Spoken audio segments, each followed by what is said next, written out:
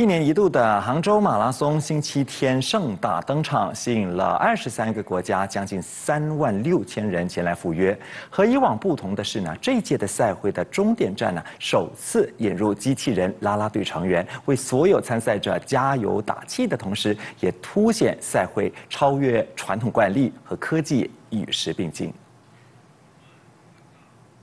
宝马的终点见证了你的坚持和汗水。这是你毅力和勇气的象征，享受这一刻吧，你是最棒的。